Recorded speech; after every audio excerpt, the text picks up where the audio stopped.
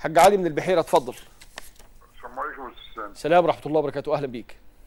الحاج علي فعلا من البحير المحموديه اتفضل يا حاج علي. تسويق القطن يا أستاذ سامع أيوه. القطن متكون عند الفلاحين والفلاحين اللي عليه ايجار أرض واللي عاوز يبقى أكل موشيه واللي عاوز كلم المسؤولين. يعني أنا معاك دلوقتي. عايزك توصل لا أنا عايزك توصل. رسالة. يا حاج علي اسمعني. عايزك بيه توصل رسالة لأن أنا أكتر واحد بيتكلم في الملف ده من أول يوم قبل الحصاد.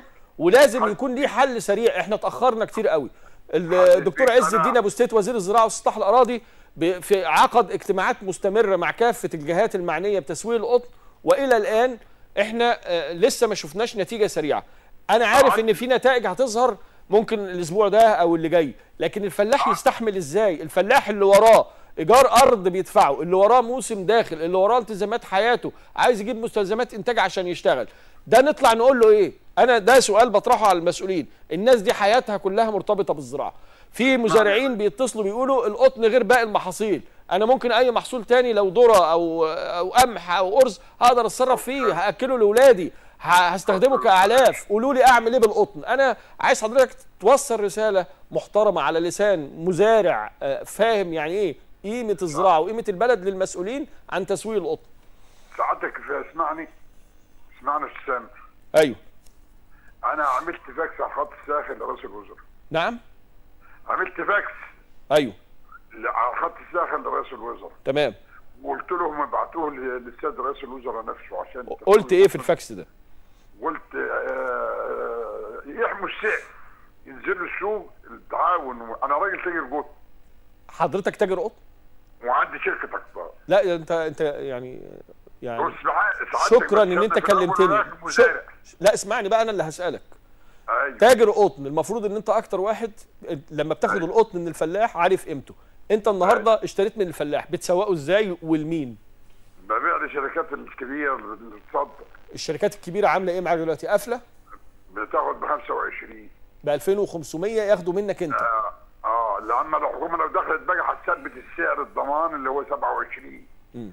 الشركات لو ما دخلوش هينزل تحت ال 2000 الشركات. الكبيرة بتاخدوا منك آه، انت؟ الشركات الكبيرة لو طلبت تاخد الجرد ب 1000 جنيه هتاخده. ما ده كل واحد بيدور على مصلحته وما بيبصش لمصلحة البلد ولا بيبص لمصلحة الفلاح. ما, ما يعني ما, ما بنبصش لك أنا ما لقدام. تعاقدتش. أنا ما تعاقدتش. وفوائد البنك يام أيوة. والحليج والتحكيم وأرضية. وأنا ما تعاقدتش. وعندك مصاريف. أنا داخل بشتري مش عارف بشتري إزاي. أيوه. ماشي. وهو صحيح كلامه صحيح. طب انت عشان بقى. الشركات الكبيرة تاخده منك ب 2500 بتاخده بكام من الفلاح؟ باخد أنا ب 475 بكام؟ باخد 25 جنيه مصروف هناك.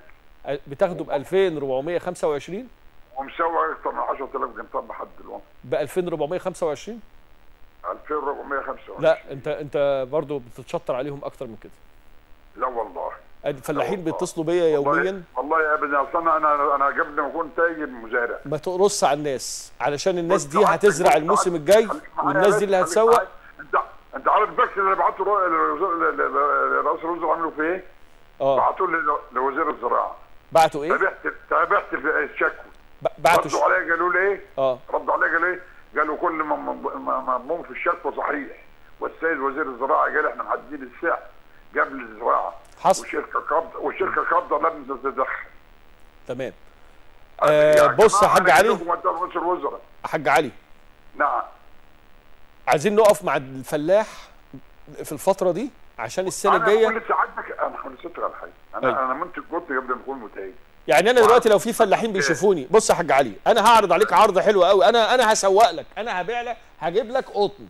الفلاحين اللي بيشوفوني دلوقتي وعندهم قطن هتاخدوا منهم ب 2425 وهديهم رقمك. باخد يا بيه خلاص باخد. بشكرك يا حاج. علي. ده اللي أنا عايز أسمعه. يا جماعة في الإعداد أي مزارع عنده قطن الحاج علي من البحيرة بيقول لك أنا باخده ب 2425 لو السعر ده مناسب هنديكوا رقمه لأن التجار أو الفلاحين بيقولوا إن التجار بيضغطوا علينا في الأسعار ونزلوه أكتر من أقل من 2000 و1700 الحاج علي قال لي لا أنا راجل تاجر وباخده ب 2425 بورده المصانع ب 2500